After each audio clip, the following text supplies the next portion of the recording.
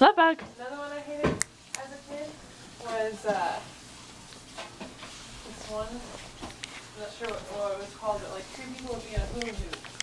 And one would be in the back and one would be in front. This is Love Bug playing with my panda bear because he's being too rambunctious for picture time. Anyway, that's it. Goodbye.